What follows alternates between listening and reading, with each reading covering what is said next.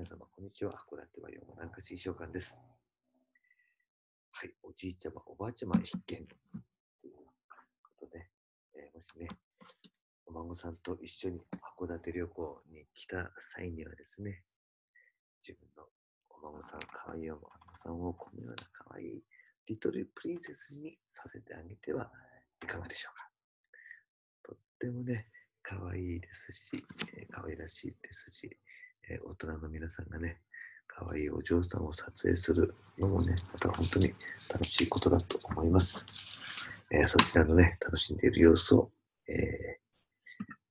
動画でご覧いただきたいと思います。ほら、こんなに可愛いですね。ミュージカルの裏ではこのようにね、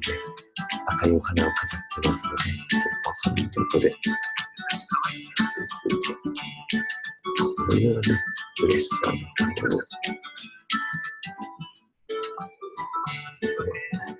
とはいう夢の時間を過ごすことができます。